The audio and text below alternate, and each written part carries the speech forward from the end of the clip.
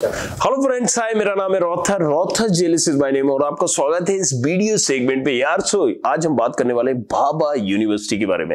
नाम ही समझ में आ रहा है मतलब वावा नहीं, भाभा यूनिवर्सिटी तो बेसिकली मैं बता दूँ यार, ये जो यूनिवर्सिटी भोपाल में स्थित है और इसी के आरकेडीएफ आरकेडीएफ टू ये पहले आरकेडीएफ टू के नाम से जानी जाती है। फिर ये भाभा यूनिवर्सिटी के नाम से इसको जानने लगे। अच्छा पहले ये मैं बता दूँ, जब ये भाभा यूनिवर्सिटी आरजीपीवी से एफिलेटेड हुआ करती थी एक टाइम पे राइट फिर इन्होंने यूनिवर्सिटी इसको कर दिया। अच्छा इनके जो ओनर है, इनके पास और भी यूनिवर्सिटी है भैया। इन्होंने तो बल्क में ले रखी है right S R K university भी नहीं की है सत्साई यूनिवर्सिटी भी नहीं की और भी दूसरी सारी।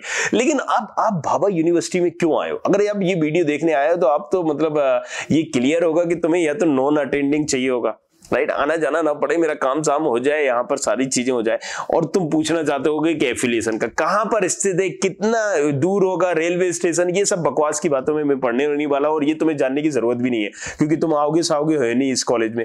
तो एक बात बता दू देखो यार टॉप लेवल का अगर कॉलेज एक्सपेक्ट कर रहे हो ना तो, तो ये नहीं है भैया। राइट ये चीज़ मैं क्लियर बता दू। लेकिन अब यहाँ पर है क्या? यहाँ पर कुछ चीज़ें हैं जो आपको किसी दूसरे कॉलेज में नहीं मिलती हैं। जी हाँ थोड़ा सा यहाँ पर मिल जाता है आपको। क्या? यहाँ पर मिल जाता है आपको पहले नंबर तो आ, हाँ हाँ नॉन अटेंडिंग जी आप सही समझे। तो यहाँ पर थोड़ा सा कंसेशन के आपको आना जाना ना पड़े। बहुत सारे बच्चे आते हैं जो एग्ज़ाम्स में आते हैं। और जैसे कि भाभा यूनिवर्सिटी हो गया। तो यूनिवर्सिटी का मतलब होता है ऑटोनोमस एग्ज़ाम भी खुद ही बनाना है राइट नंबर भी खुद को देना है। राइट right, सब बाकी सारी चीज़ें कैमरे पे बोलनी पड़ेंगी क्या? तो समझ जाना है। राइट right, कि यहाँ पर सब कुछ भैया पॉसिबल हो जाता है। तो सब कुछ से क्या? जैसे कई बच्चों के मैंने रिव्यू लिए तो वो कहते हैं कि भाई आ, एक साल बाद आता है वो बच्चा। मैंने कहा कि भाई कॉलेज ही नहीं पता बच्चे को एक साल पहले कि भैया कहाँ पर स्थित है? वो मुझसे रास्ता पूछ रहा है। मैंने कहा कौन सी ईयर सेकेंड ईयर मैंने सेकेंड ईयर में हो? तुम्हें ये नहीं पता बाबा कॉलेज का है? तो अब आप समझ जाओ कि भाई क्या कंडीशन है आगे। राइट लेकिन एक एक एक चीज़ में बताऊँ। आपको जिस कोर्स के लिए जा रहे हो, देखो, यहाँ पर भोपाल में है, ये कॉलेज नो डाउट राइट पुराना कॉलेज है, बड़ा ग्रुप है, ये भी आपको समझना पड़ेगा। लेकिन अब एक चीज़ आपको समझनी पड़ेगी कि एफिलिएशन क्या है। क्या ये वो सारी चीज़ें आपको बता रहे हैं, कुछ छुपा रहे हैं? क्योंकि बहुत सारी ऐसी हिडन चीज़ें हैं इस कॉलेज के अंदर जो आपको पहले एडमिशन लेने से पहले जाननी पड़ेंगी, समझनी पड़ेंगी राइट तो अब जैसे मैं एक एग्जांपल के लिए बात करता हूँ कि एफिलिएशन का समझो। क्योंकि अगर आप नॉन अटेंडिंग भी कर रहे हो और इस कॉलेज से मान लीजिए आप फार्मेसी कर रहे हो एग्ज़ाम्पल के तौर पर ले लेते हो तो क्या पीसीआई है? फार्मेसी काउंसिल ऑफ़ इंडिया से एफिलेटेड है और जिस बेच में जाना चाह रहे उस बेच में है।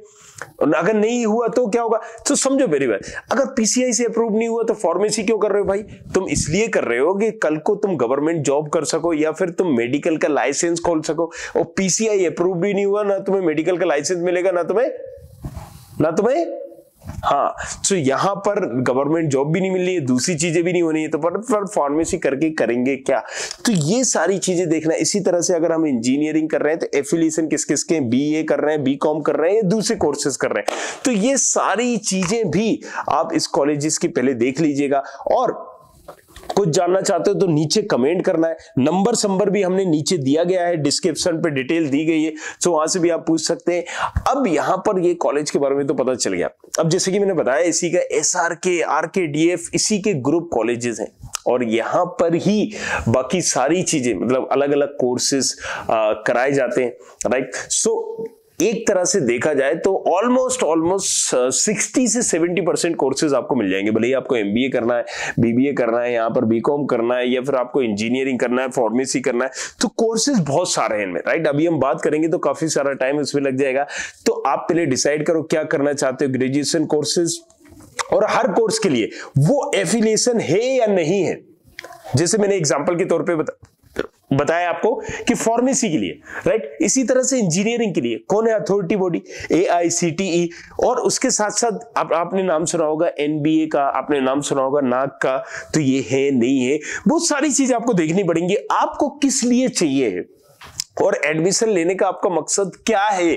करने का यू नो क्या करना चाहते हो? ये सारी चीज़ें पहले देखो इस कॉलेज में एडमिशन लेने से पहले, क्योंकि यार देखो ये तो नो डाउट यहाँ पर आपको फ़ीस काफ़ी कम लगेगी राइट बहुत ही लो फ़ीस आपको लग जाएगी। और दूसरा, आपको फ़ीस के साथ साथ अटेंडेंस में रिलैक्सेशन वगैरह मिल जाएगा। लेकिन अगेन मेरा सवाल यही है, जिस चीज़ के लिए कर रहे हो, क्या वो चीज़ फुलफिल हो रही है यहाँ पर या नहीं हो रही है? और अगर नहीं हो रही है तो फिर आपके लिए बड़ा मुश्किल होने वाला है भाई राइट सो इसीलिए बने रहना हमारे साथ और पूछो हक से चलो करें इंजीनियरिंग सो पूछे हक से हमारी सीरीज़ है, जिसके तहत आप अपना पूछ सकते हैं, किसी भी तरह का सवाल व्हाट्सएप व्हाट्सएप हमें कर सकते हैं, नीचे नंबर नंबर दिया उस पर भी कॉल कर सकते हैं। और इसी के साथ साथ किसी और टॉपिक पे वीडियो देखना चाहते हो तो नीचे जाके कमेंट समेंट कर सकते हैं। अब मैंने इस कॉलेज की पूरी डिटेल नहीं बताई भैया, कब एस्टेब्लिशमेंट हुआ था, इन सबसे चक्करों में पढ़ो भी मत। क्योंकि अगर ये उस लेवल का कॉलेज होता तो मैं सारी चीज़ें बताता। रेगुलर सेगुलर अगर तुम यहाँ जाना चाहते हो तो भैया मैं कहूँगा नो राइट इसके लिए तो इससे बेटर कई कॉलेजेस हैं क्योंकि ये टॉप टेन में भोपाल में भी नहीं आता है तो आप समझ सकते हो बाकी सारी चीज़ें। अब सारी पोले कैमरे के सामने नहीं खुलवाना ठीक है तो मिलते हैं नेक्स्ट वीडियो में। तब तक के लिए सब बगैर thank you very much thanks a lot मिलते हैं नेक्स्ट वीडियो में। I hope you like this video. For more such videos, keep watching our channel and do not forget to like, share and subscribe.